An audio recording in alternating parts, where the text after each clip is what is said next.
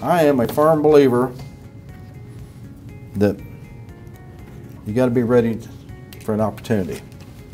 If you wait until two or three days beforehand and you start gathering up some of your supplies, not your edibles, not your small stuff, but adjusting supplies and putting, formulating your plan put together or getting your help put in place, you're going to miss the boat.